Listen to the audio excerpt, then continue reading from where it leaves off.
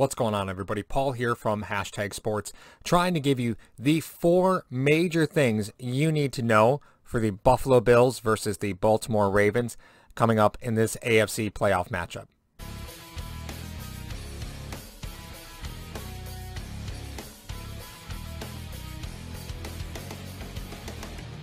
Okay, lots of stats and lots of things that I'm sure a lot of folks are throwing at you about why Buffalo has the advantage over Baltimore. But let's get a little bit deeper and talk about some things that everybody, even people without a ton of football experience, will be able to see uh, to know if the game is going in Buffalo or Baltimore's direction. So I'm going to give you four points that you need to pay attention to to determine who's in control of this football game.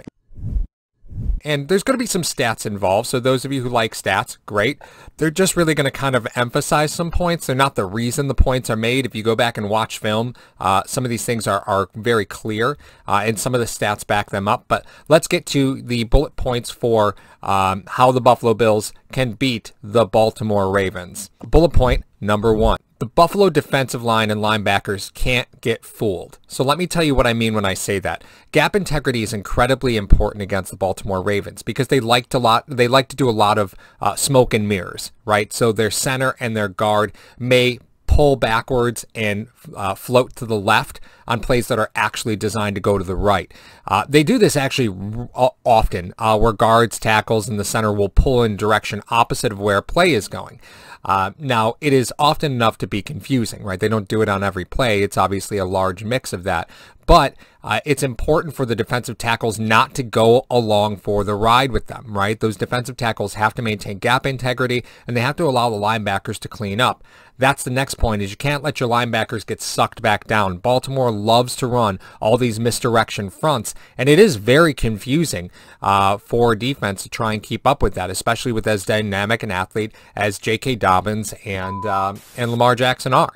So you need to maintain gap integrity. You want your defensive tackles just going forward, you don't want them going side to side. You're going to know who's winning at the line of scrimmage just simply by are the defensive tackles shifting with the offensive lineman. Against Baltimore, that's a big no-no. You don't want to do that. Uh, we saw some of this uh, against San Francisco as well. San Francisco does a lot of the same things where they'll pull in opposite directions uh, than than the direction that the plans the plays really designed to go.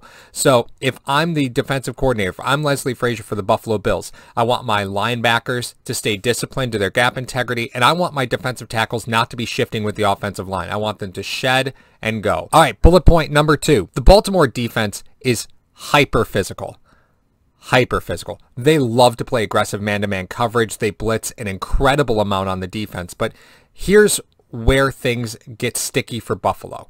Um, is you don't have very big receivers. You don't have very physical receivers. So Stefon Diggs, I'm not going to say that he's not physical, but I mean, if you're comparing Stefon Diggs to, um, you know, uh, Corey Davis, Corey Davis is clearly a much more physical receiver than Stefon Diggs, who cut from a very different cloth.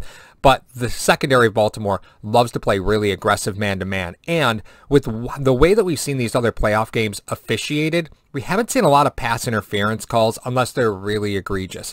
And Baltimore is going to strive on the fact that they don't think the refs will be able to pull out the flags in the playoffs. They haven't so far with the games that we've seen. So I think Baltimore is is very content with just being as aggressive at the line of scrimmage and being aggressive at the top of routes. Now, Again, Buffalo's size tells you that's a disadvantage. Let me tell you why that's actually an advantage for Buffalo. Uh, first off, with as dynamic an athlete as Josh Allen is, a physical receiver or a receiver getting bumped off his route early isn't really a big deal here. Um, you've got multiple weapons on this offense, so if you see that a route is disrupted early, uh, Josh has the creativity and, and the available options to find something else open. Plus, a lot of times throughout the course of the year, we've seen Josh get creative with his receivers if these receivers are going to get, if these cornerbacks are going to get physical at the top of routes, then those routes are eventually going to start breaking off. And as the play breaks down, Josh is going to find somebody that's open. So uh, I will tell you that this will be an incredibly physical game from a secondary standpoint. Uh, probably the most physical game you've seen all season. Uh, th these corners are going to be very, very, very nasty. Uh, at the line of scrimmage, they're going to be nasty at the top of routes. They're going to be all over these receivers. And that's on purpose. They don't think the refs are going to be able to call enough pass interference penalties to make uh, the juice worth the squeeze, right? So that's the deal there. But don't let people tell you that's a disadvantage for Buffalo just based solely on the size of the receivers. We've seen this entire season how Josh has been able to create when the routes aren't there. Let me correct that. Um, Josh has been able to create when the initial play call routes have not shown him what he needs. And as the play breaks down, he buys some time um, and he's able to uh, to connect downfield. So um, don't let somebody tell you that that's a disadvantage for Buffalo just based off the size and the hyper aggressive nature of this Baltimore defense. It's not. Buffalo's going to be just fine. All right, bullet point number three. You beat Lamar Jackson like other NFL teams beat 2018 and 2019 Josh Allen. You make him play quarterback. Now, mind you, that's that comes from that means a lot of different things, right? But look for this Bills defense to do something they haven't done all season, and that is hide um, hide the true blitzer, right? So Buffalo has kind of told the last five or six games when blitzes or when pressure is coming, um, you kind of know it, right? You know where it's coming from. They do they do faint to that a little early. Um, watch Buffalo in those third and five, third and six situations to have multiple guys standing at the line of scrimmage. We haven't really seen that from them. We've seen it a few times, but I'm talking standing defensive ends. I'm talking standing defensive tackles. Think Baltimore Ravens versus Peyton Manning, right? Uh, obviously for very different reasons. Peyton Manning, uh, you were doing it to confuse coverages uh, and where pressure was coming from. But, but from Lamar, you could still fool him.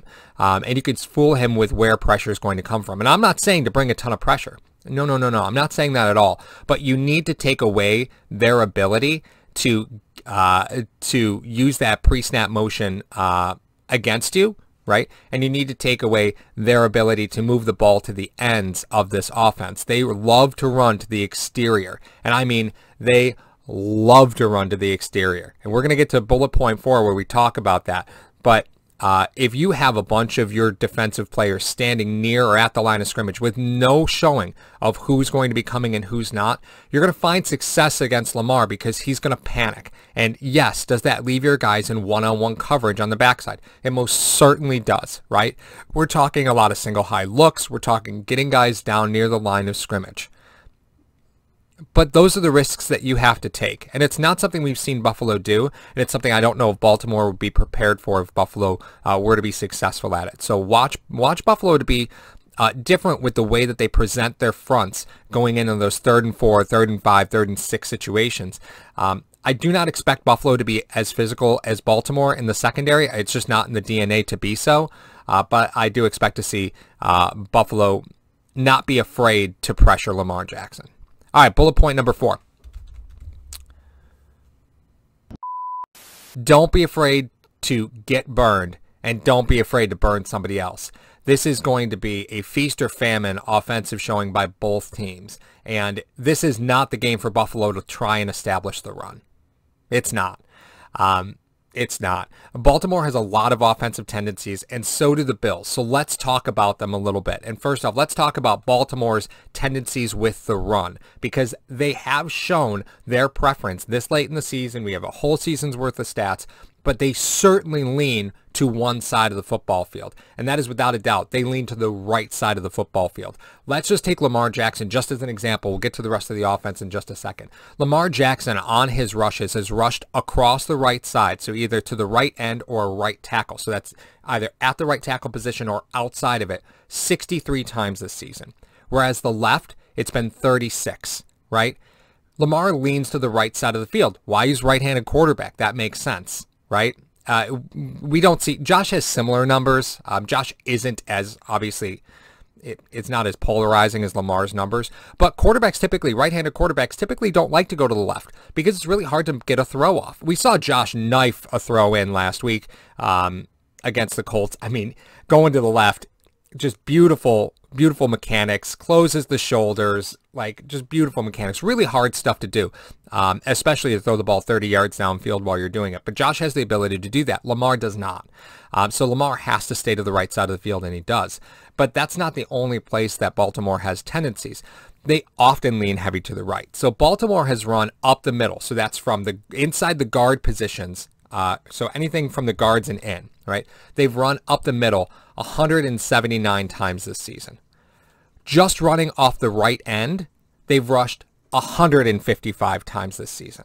right? So just looking at the right end, they've run as many plays as they have up the middle of the football field.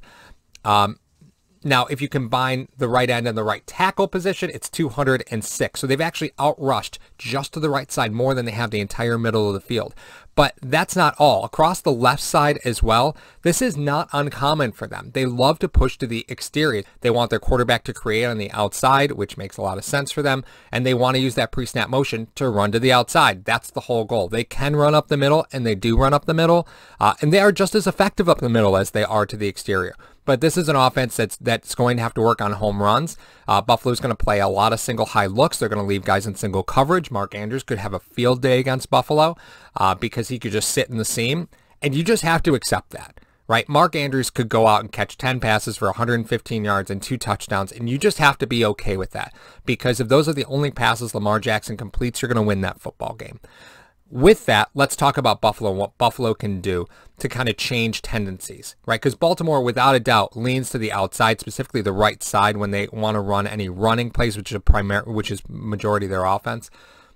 When we look at the Bills' passing game, it is a little bit of a different story. So we obviously know Zach Moss isn't active, right? So T.J. Yeldon is gonna is gonna be activated. Sean McDermott's already told us that. But let's get to some numbers here. The one thing Buffalo can do uh, that they haven't done all season is actually involve the running backs in the passing game. So let me tell you a little bit about the Bills passing game. The running backs, all of them, all season, have 136 combined targets with 56 receptions. Am I might have done the numbers wrong. It's not 136 targets. Oh, let me do the math correctly this time. Oh, yeah. No, I, I did the math totally wrong. Uh, 71, 75 targets. So the Bills have 75 targets from their running backs for 56 receptions. That number makes a bit more sense. I'm not afraid to admit when I'm wrong.